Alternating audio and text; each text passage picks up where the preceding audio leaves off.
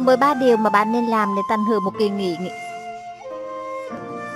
13 điều mà bạn nên làm để tận hưởng một kỳ nghỉ lễ ý nghĩa. Dịp nghỉ lễ đang kề cận và bạn chưa biết sẽ làm gì để tận hưởng Hãy cùng tìm hiểu 13 điều mà những người thành công thường làm khi nghỉ lễ. Theo nghiên cứu của Lai Thalor, một chuyên gia nghiên cứu môi trường làm việc quốc gia Thứ nhất là lên kế hoạch. Người thành công luôn luôn lên kế hoạch trước khi kỳ nghỉ lễ của mình sắp đến vì họ nhận ra rằng đó là một dịp hiếm hoi để tận hưởng thời gian rảnh rỗi, ta lo cho biết. Dù kế hoạch chỉ là thư giãn, họ cũng xác định sẵn trong đầu những hoạt động chẳng hạn như là thăm gia đình hay bạn bè. Thứ hai là tách riêng công việc và nghỉ ngơi. Đừng phá hủy kỳ nghỉ của mình bằng công việc. Nếu bạn cần làm xong công việc, vẫn vẫn sẽ có cách mà không cần phải dồn cả hết vào kỳ nghỉ của mình. Thật Lào khuyên, nếu công việc nhất định phải hoàn thành, hãy sắp xếp một khoảng thời gian nhất định trong ngày hoặc là trong kỳ nghỉ để làm. Đặt ra những giới hạn Có những chuyên gia thành công sẽ cho người khác biết khi nào có thể liên lạc được với họ và liên lạc như thế nào. Như vậy thì họ có thể hoàn toàn nghỉ ngơi, ta lo cho biết.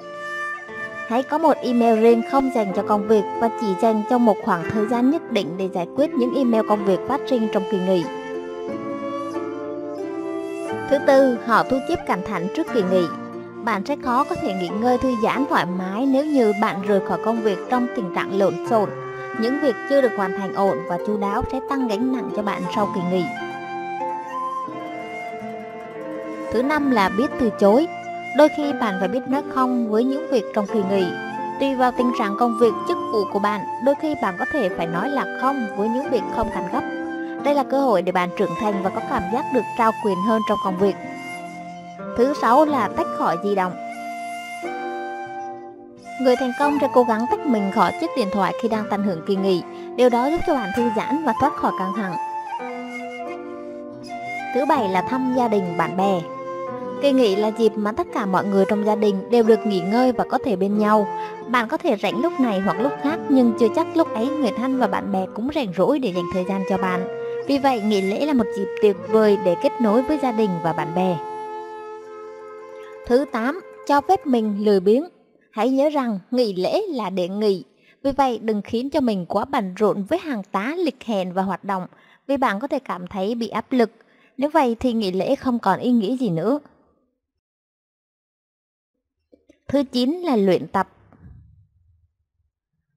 Đừng viện cớ để không tập luyện vào dịp lễ bạn thường ăn nhiều hơn, nhất là đồ ngọt, nên bạn cần phải duy trì thói quen tập luyện trong những ngày này. Thứ 10. Làm những việc mình thích. Hãy tham gia vào những hoạt động theo sở thích của bạn, có thể là âm nhạc, thể thao, đọc sách, vân vân. Bạn có một cái nhìn rộng lớn hơn và lành mạnh hơn về cuộc sống. Chúng cũng sẽ khiến cho bạn trở thành một con người thú vị hơn ngoài công việc. Hòa mình vào thiên nhiên theo ta lo thì dịp nghỉ lễ là một khoảng thời gian tuyệt vời để bạn có thể hưởng được không khí thiên nhiên một cách trong lành. Thứ hai là thoát khỏi công việc. Bất kể bạn làm gì thì đừng lãng phí thời gian rảnh rỗi quý giá vào công việc. Có thể bạn sẽ giành được vài thành tựu ngắn ngủi nào đó trong công việc, nhưng điều đó không đáng để bạn hy sinh hoàn toàn thời gian nghỉ ngơi của mình.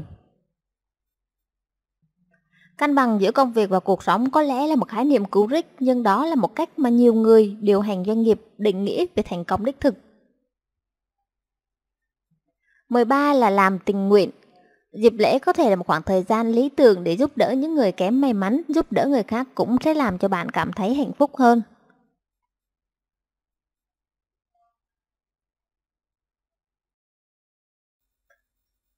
Lịch nghỉ lễ Dỗ Tổ Hùng Vương vào 30 tháng 4 mùng 1 tháng 5 năm nay.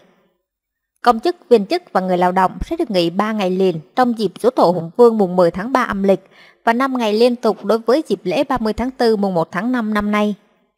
Theo thông báo về việc nghỉ lễ Tết năm 2019 của Bộ Lao động Thương binh và Xã hội, cán bộ công chức, viên chức và người lao động của các cơ quan hành chính, sự nghiệp, tổ chức chính trị, xã hội sẽ được nghỉ hai đợt nghỉ lễ trong tháng 4 này Lễ Dỗ Tổ Hùng Vương sẽ được nghỉ 3 ngày vào giữa tháng 4 và 5 ngày dịp lễ 30 tháng 4 mùng 1 tháng 5. Cụ thể thì quy định Dỗ Tổ Hùng Vương, cán bộ công nhân viên chức sẽ được nghỉ một ngày. Nếu như Dỗ Tổ Hùng Vương trùng vào dịp cuối tuần thì sẽ được nghỉ bù vào ngày đi làm kế tiếp. Năm nay Dỗ Tổ Hùng Vương mùng 10 tháng 3 âm lịch rơi vào ngày Chủ nhật là ngày 14 tháng 4 dương lịch. nên người lao động sẽ được nghỉ bù một ngày vào ngày thứ hai là ngày 15 tháng 4.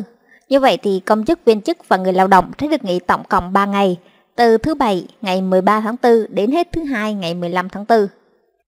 Ngày giải phóng miền Nam 30 tháng 4 và Quốc tế Lao động mùng 1 tháng 5 năm 2019, cán bộ công chức viên chức sẽ được nghỉ 5 ngày liên tục, từ thứ Bảy ngày 27 tháng 4 cho đến hết thứ Tư ngày mùng 1 tháng 5. Như vậy trong đó sẽ có 2 ngày thứ Bảy, Chủ nhật và 2 ngày lễ 30 mùng 1, còn ngày 29 được nghỉ thì sẽ làm bù vào thứ Bảy tuần kế tiếp.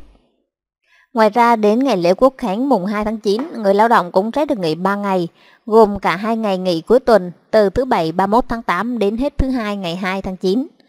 Các cơ quan đơn vị không thực hiện nghỉ cố định thứ Bảy Chủ nhật hàng tuần thì căn cứ vào chương trình kế hoạch cụ thể của đơn vị để bố trí lịch nghỉ cho phù hợp. Trong thời gian nghỉ lễ này, người lao động được nghỉ làm việc và được hưởng nguyên lương theo khoản 1 điều 115 Bộ luật Lao động năm 2012. Sự thật bàng hoàng về chồng sau cánh cửa phòng ngủ. Định tạo cho anh ấy một sự bất ngờ trong ngày sinh nhật. Tôi lại vô tình bắt quả tang chồng đang thử đồ của tôi. Chồng của tôi, Dũng sắp đón sinh nhật lần thứ 30 trong vài tuần tới và tôi muốn làm điều gì đó khiến cho anh ấy bất ngờ. Tuy nhiên thì người bị bất ngờ lại là tôi chứ không phải là anh. Sinh nhật của Dũng rơi vào đúng thứ bảy và tôi có chuyến công tác vào tuần trước đó. Tôi đã sắp xếp để về nhà vào chiều thứ bảy, nhưng tôi không nói cho anh ấy biết vì muốn tạo một bất ngờ nho nhỏ. Tôi giả vờ tỏ ra thất vọng trước mặt chồng và nói với anh ấy rằng tôi có một vài cuộc họp vào thứ hai nên sẽ phải ở lại hai ngày cuối tuần, không thể cùng anh đón sinh nhật. Chúng tôi đồng ý sẽ tổ chức bữa tiệc nhỏ nhỏ vào cuối tuần sau với một vài người bạn để bù đắp cho anh. Anh nói với tôi rằng nếu như tôi muốn thì cả hai sẽ cùng ăn mừng riêng với nhau khi tôi về. Và anh sẽ không để ý tới việc phải tổ chức sinh nhật vào đúng ngày. Sau đó tôi yên tâm đi công tác và làm theo đúng kế hoạch đã vạch sẵn. Dũng thường chơi bóng đá với bạn vào mỗi sáng thứ bảy và về nhà vào lúc 1 giờ chiều. Tôi cũng biết là anh ấy sẽ ở nhà cả buổi chiều ngày hôm đó. Trở về từ chuyến công tác, tôi ghé qua nhà người hàng xóm để gửi nhờ hành lý, bởi tôi không muốn kéo vali vỡ kế hoạch tạo bất ngờ cho anh. Sắp xếp mọi thứ ổn tỏa, tôi quay về căn hộ của mình. Tôi mở cửa nhẹ nhẹ để không tạo ra tiếng động. Thoạt đầu tôi nghĩ là Dũng đang ngồi ở phòng khách, nhưng anh ấy không có ở đó. Tôi đinh ninh rằng anh ấy có thể ở trong phòng ngủ và đang đánh một giấc ngon lành sau trận đá mệt nhoài buổi sáng. Tôi tiến vào phòng ngủ, mở cửa nhẹ, rồi bị choáng bởi những gì mà tôi nhìn thấy. Hàng tá váy vóc quần áo của tôi nằm la liệt trên sàn nhà, và người đang ướm thử ngắm nghía chúng trong gương lại chính là chồng tôi. Thấy cảnh tượng đó, chân tay tôi buồn rụn đánh rơi chai sâm bành xuống đất. Dũng giật mình quay lại, mặt anh trắng bệch nhưng khi nhìn thấy tôi. Một vài phút trôi qua trong yên lặng, anh ấy cuối cùng cũng lên tiếng. Anh, anh xin lỗi. Đầu tôi đang mách bảo rằng tôi phải thoát ngay ra cái nơi quỷ quái này ngay lập tức. Nhưng con tim tuyệt vọng lúc này lại không cho phép. Tôi muốn biết chuyện gì đang xảy ra. Tôi lấy hết dũng khí bước lại gần Dũng để làm rõ mọi chuyện. Anh ấy khóc và rồi tôi cũng khóc theo. Phải mất một lúc hai vợ chồng mới lấy lại bình tĩnh. Sau đó tôi ngỏ ý muốn biết hết mọi chuyện. Dũng nói rằng chỉ mới hai năm trở lại đây, anh bắt đầu thử quần áo của tôi. Hồi anh ấy còn đi học, anh cũng thường xuyên thử mặc đồ của em gái. Trong tiềm thức tôi thoáng chút suy nghĩ rằng liệu chồng mình có phải là một người đồng tính? Liệu anh ấy có muốn đi chuyện dưới?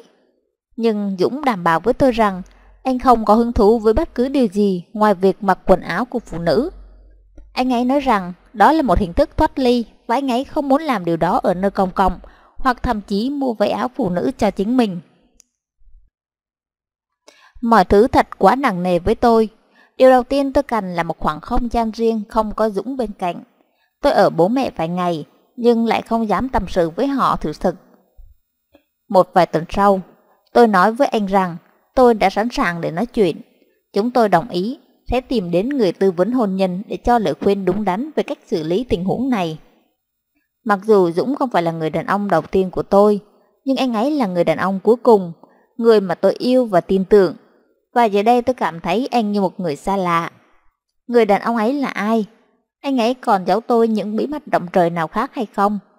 Tôi nói với chồng, điều khiến tôi bận tâm không phải là việc chồng thử chiếc áo yêu thích của tôi, mà là việc anh ấy đã giấu nhẹm đi sự thật. Tôi cảm thấy anh đã phản bội lòng tin của tôi. Đối với tôi, niềm tin còn quan trọng hơn việc Dũng thích mặc quần áo của phụ nữ.